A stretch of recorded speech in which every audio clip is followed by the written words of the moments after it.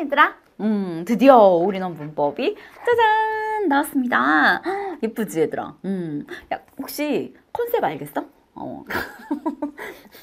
나만 나만 아나? 얘들아 이 컨셉이 약간 그 초콜릿 느낌 인 선생님만 그렇게 생각하나 봐. 어, 드디어 우리 아이들의 올인원 문법 2021 버전 많은 친구들이 알고 있듯이 선생님이 이 책 만드느라고 제주도에 유배를 다녀왔어. 어, 사실 선생님 운전을 못해서 이렇게 작업실에 넣어 놓으면 차가 없으면 제주도 못 나오잖니? 선생님의 캐리어에는 책 몇십 권이 들어있었어. 어, 시중에 있는 모든 교과서, 문법, 언어와 매체 교과서들과 그리고 뭐 자습서들과 그리고 우리 전공 서적들과 그렇게 해서 수없이 많은 책을 가지고 유배를 가서 네, 나온 책이 바로 올인원 개정된 올인원 문법 책입니다. 자, 그럼 지금부터 선생님과 한번 들어가 보도록 할게요. 네. 짜잔, 뒷장을 넘겼더니 챕터로 내용을 한번 살펴볼까, 얘들아? 음은 단어, 의문이랑 단어랑 문장이랑 의미, 고전 문법까지 우리가 국어에서 배우는 전 영역들이 다 들어가 있어. 대원 선생님이 올해 이번에 새롭게 추가한 챕터가 부록. 이 부록에 한글 맞춤법이랑 표준어 규정이 들어가 있지. 우리 교재를 옆으로 싹 보면 여기 색깔 다른 부분 보여? 음, 우리의 수능에는 뭐가 포함되냐면 한글 맞춤법 규정, 한글 맞춤법이랑 표준어 규정이 수능의 범위에 포함된단 말이야. 그래서 선생님이 교재 중간중간에 이 내용들이 같이 겹쳐지는 부분은 개념 밑에다가 얘네들을 다 달아놨어. 근데 선생님이 학생이라면 처음부터 끝까지 한번 쓱 보고 싶을 것 같은 거야. 그래서 우리 교재 뒤에 보면 부록에다가 처음으로 이런 걸 해봤어. 부록에다가 한글 맞춤법. 그래서 1장 총칙, 2장 자모, 3장 소리에 관한 것. 너무 별로잖니? 어, 진짜 뭐 맞춤법 우리 막 일상에서 많이 틀리는데 어떡하지?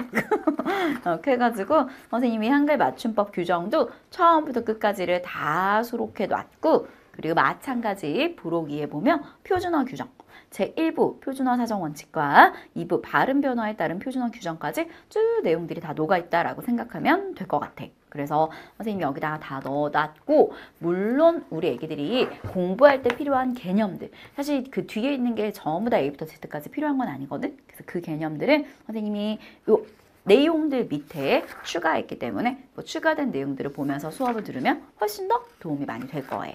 자 그렇다면 교재 구성이 어떤지 한번 우리가 안으로 들어가 볼까요? 짜잔! 모든 개념은 맨 앞에 수영도의 형태로 정리가 됩니다. 여기 보시면 개념 수영도 라고 되어 있지. 문법 개념이 우리 애들이 약한 이유가 개념의 층위를 잘 몰라. 그 개념이 너무 많고 산발적으로 나와서 얘가 어디서 나온 놈이지? 이런 생각을 한단 말이야. 근데 봐봐. 은 법. 법은 법칙, 법규 이런 것들은 무조건 체계야. 그래서 이 밑에 얘가 있고 이 밑에 얘가 있고 이 밑에 얘가 있는 어떤 층위를 이해하는 게 가장 중요한 기본 버전이거든. 그래서 선생님이 교재에 항상 개념을 시작할 때 우리가 배우게 될 그 개념을 수영도의 형태로 여기서 얘가 나왔고 그리고 또 여기서 얘가 나왔고 여기서 얘가 나왔고 여기서 얘가 나왔어 라는 것들을 한눈에 볼 수 있게 다 넣어놨어. 근데 그게 또 있어. 듣다 보면 또 까먹는단 말이야. 그래서 선생님이 어떻게 했냐? 교재에 항상 오른쪽 날개를 보면 한눈에 보는 개념체계 보이니? 음.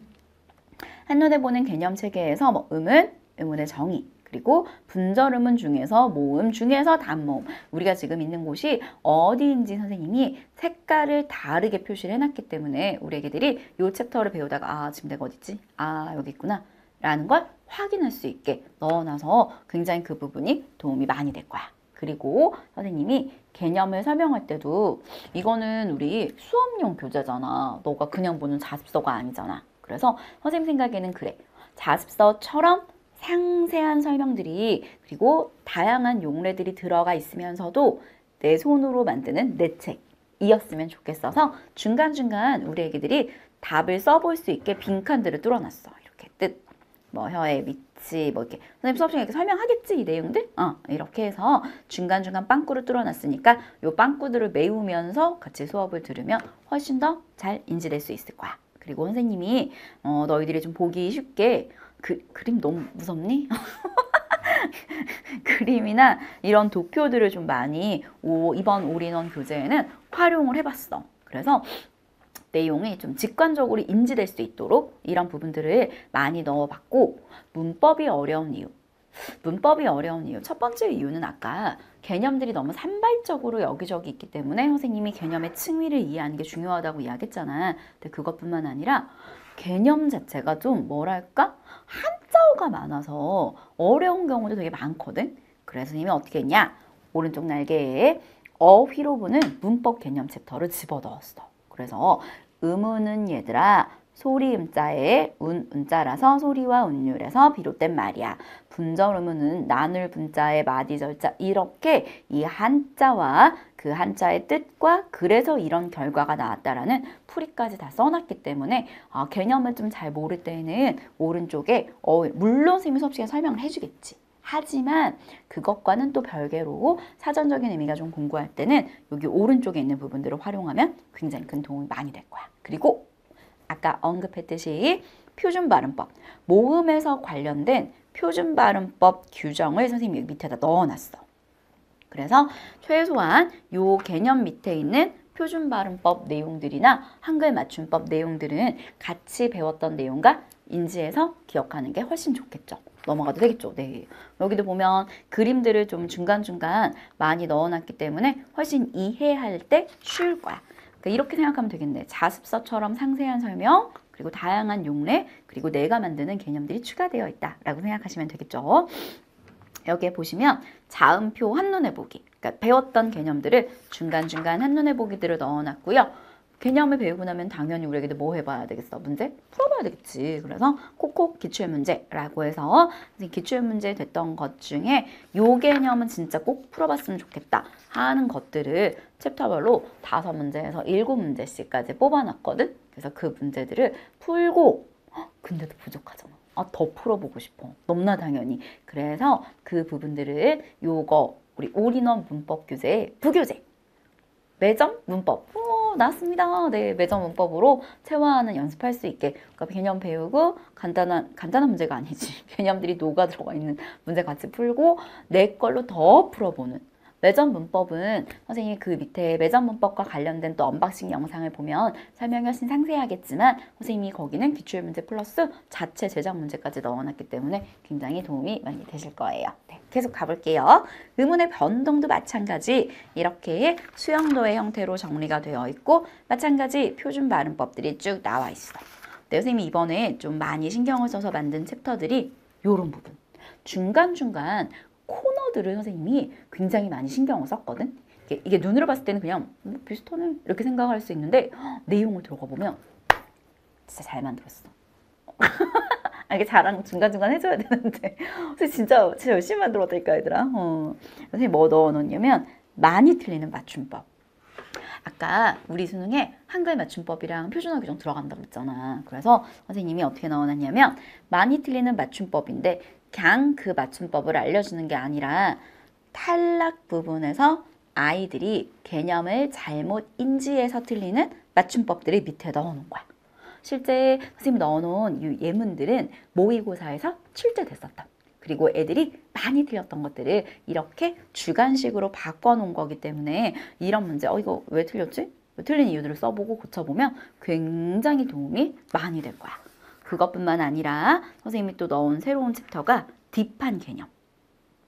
이번에 언어와 매체로 바뀌면서 되게 좀 심도 깊게 나오는 챕터의 개념들이 있어. 기존의 문법과는 조금 달라진 파트라든지 기존의 문법보다 좀 더 심화된 개념이라든지 아니면 우리 아이들이 굉장히 헷갈릴 수 있는 개념이라든지 하는 그런 부분들 있잖아. 그런 거를 선생님이 딥한 개념이라고 해서 이 부분에 아 이거는 옛날엔 이랬는데 이게 이런 식으로 바뀌어서 그래서 교과서들에서는 이런 부분은 이런 식으로 보기 때문에 수능에서는 이런 식으로 이렇게 구현될 거야 라는 것들을 다 써놨어 헉, 괜찮지? 어. 얼마나 열심히 만들었는지 몰라 그렇게 해서 또 마찬가지 뒤에 보면 뭐 한눈에 보기 그리고 문제들까지 쭉 선생님이 넣어놨다라고 생각하시면 되겠습니다. 그리고 선생님이 이번 교재에서 문법이 어려운 첫 번째 이유는 개념의 층위가 눈에 닿지 않아서. 그래서 이미 개념의 층위가 눈에 닿지 않는 건 이렇게 개념 수용도의 형태로 넣어놨고요. 그리고 우리 아이들이 어휘가 너무 한자가 많아가지고 이해가 안 되는 건 이렇게 어휘로 보는 문법 개념이라고 해서 날개에 넣어놨어. 그치? 근데 그것뿐만 아니라 예시를 몰라서. 그러니까 어근 접사의 개념은 알아. 근데 구별하라고 하면 구별을 잘 못해. 근데 문제는 나오는 예시는 거의 정해져 있거든. 그래서 선생님이 예시를 진짜 많이 넣었어. 이번 교재에는 우리 이번 우리너 문법에는 예시들이 엄청 많이 들어가 있기 때문에 아 이런 예시들을 눈에 박아 놓으면 선생님이 특히 수업하다가 얘들아 이 정도 눈에 좀 박아 놓는 게 좋아 이 정도 눈에 좀 박아 놓는 게 좋아 하는 것들이 있을 거거든 그런 것들은 가져가면 굉장히 도움이 많이 될 거야 그리고 또 선생님이 되게 신경을 많이 쓴 챕터가 이 부분 여기 한번 볼까 헷갈리는 개념 우리가 아이들이랑 수업을 해보면 문법 어, 왜 어려워? 아, 선생님, 너무 개념이 이거랑 이거랑 헷갈려요. 하는 것들이 되게 많거든. 그래서 어근, 어간. 대표적이지, 그치? 이런 개념은 정의, 어근의 정의가 뭐고, 어간의 정의가 뭔데, 얘 짝꿍이 이건데, 해당 파트가 이거라서 너가 구별할 때는 이렇게 구별하면 돼. 라고 선생님이 쭉 다 써놨어. 어? 괜찮지? 어머, 정말 열심히 만들었던가? 이렇게 하고 마찬가지 헷갈리는 개념을 비교할 때 이거랑 이거랑 비교할 때 이런 식으로 그래서 헷갈리는 개념은 실제 예시를 가져올 때는 기출이 됐었던 예시 중에 애들이 많이 틀린 선생님 지금 뭐 한도의 문법을 가르치는 게 아니잖아 지금 계속 이제 학교생 때부터 수업을 했었을 때 아이들이 헷갈려하는 개념이나 놓치는 부분들을 다 예문으로 구현시켰어. 그거 만드는데 굉장히 오래 걸렸겠지. 그래서 특히 이 부분도 보면 형태는 같지만 기능이 다른 조사의 용례. 형태는 같지만 기능이 다른 대명사의 용례. 그리고 또 살펴보면 뭐 형태는 같지만 기능이 다른 품사의 용례 이런 식으로 이런 것들을 기억 니은 너가 직접 풀어보면서 어떻게 구별을 해야 되는 건지 이런 팁들을 다 정리해 볼 수 있게. 그리고 또 마찬가지 헷갈리는 개념 비교. 관형사 형용사 접두사 공부해본 친구들은 알 거야. 이거 되게 헷갈려 하거든. 그래서 그런 거를 어떻게 구별해야 하는지까지 선생님이 어, 다 정리해 놓았기 때문에 너네들이 정말 문법을 공부할 때는 이 올인원 문법 한 권으로 A부터 Z까지 다 끝나게 아 문제 풀이는 더 많은 문제 풀이는 매점 문법으로 해볼 수 있게 쭉 교재를 구성을 했고요. 특히 고전 문법 같은 경우도 선생님이 굉장히 열심히 만들었어. 내가 열심히 만들었으니까 우리 애들은 수업 들을 때 너무 힘들겠지? 알아야 되는 개념들을 선생님이 쭉 표들로 쭉 다 정리를 해놨기 때문에 아마 공부를 할 때 굉장히 큰 도움이 많이 되실 거예요. 네. 그럼 다시 한번 빠르게 정리해 볼게요. 너희들한테 올인원 문법은 정말 내가 만드는 개념서라고 생각하면 될 것 같아. 그리고 그 우리 아이들이 개념을 어려워하는 층위를 모를 때는 수형도 그리고 어휘가 좀 약할 때는 어휘로 보는 개념 체계 그리고 또 헷갈리는 부분들에서는 헷갈리는 개념 콕콕 그리고 또 우리 아이들이 좀 문법 봤을 때 아, 이거는 좀 너무 깊게 들어간 거 아닌가? 라는 부분은 deep한 개념까지 그리고 다양한 용례까지 다 들어가 있기 때문에 공부를 할 때 굉장히 도움 많이 될 거야. 그리고 이렇게 해서 완벽하게 개념을 쓱 정리한 다음에는 그러더라 선생님 이번에 진짜 신경을 많이 썼거든. 그래서 선생님 아, 웃는 거 너무 익룡 같지? 어, 익룡 얘기가 나는데 익룡 같잖아. 이거를 했잖아. 선생님이 만든 이 내용을 또 어떻게 잘 구현시킬 수 있을까? 이걸 칠판 강의를 찍기에는 이 교재의 내용이 너무 안 들어갈 것 같은 거야. 그래서 강의도 처음으로 전자칠판에서 진행하기로 했습니다. 선생님 전자칠판 연습했다 얘들아? 와가지고 막 켜가지고 막 아, 이렇게 아, 다시 해보고 다시 해보고 막 아, 진짜 노력 많이 한다니까. 그래서 전자칠판으로 강의 이 내용들을 잘 녹이기 위해서는 초록색 칠판은 좀 한계가 있더라고. 그래서 전자칠판으로 강의까지 촬영을 하니까 좀 도움을 많이 받을 수 있었으면 좋겠어요. 네, 저희는 본격적인 강의에서 볼게요. 우리 아이들 그 길에 항상 쌤도 함께 하는 거 알지? 우리는 강의에서 볼게 얘들아. 안녕!